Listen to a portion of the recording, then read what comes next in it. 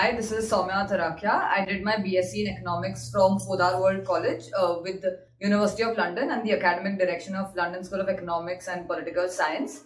I was also simultaneously pursuing my Chartered Accountancy and CFA.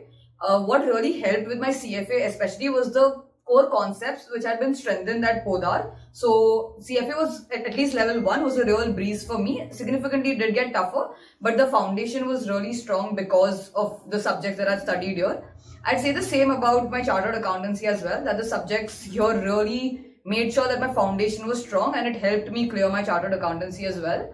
Uh, I'm currently working in the audit uh, sector with uh, especially of banks and private equities. What I'd really like to stress on is the fact that the faculty here is Hmm. is there for your support 24-7. You can go to them innumerable times with how many your doubts and they really put in a lot of efforts to make sure that your that this, that wherever you have doubts, whatever your core foundations are, that they're strong so that you can build on them later.